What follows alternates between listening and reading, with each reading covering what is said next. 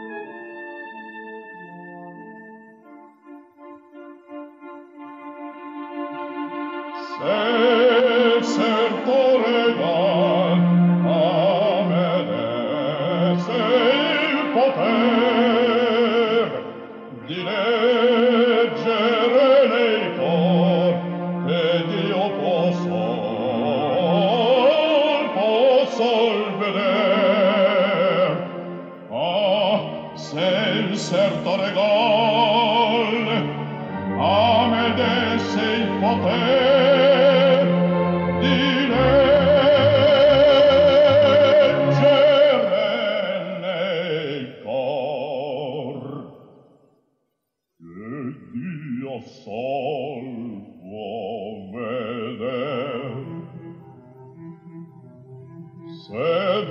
il prince me il il servo perde il re il consorte l'onore